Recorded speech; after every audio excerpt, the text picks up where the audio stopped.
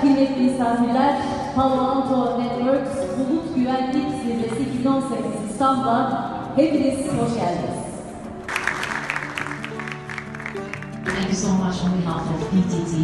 With 178 years long history, PTT is not only about hosting something, it's also the history of the country, Turkish Republic. So it's so special to reunite you today and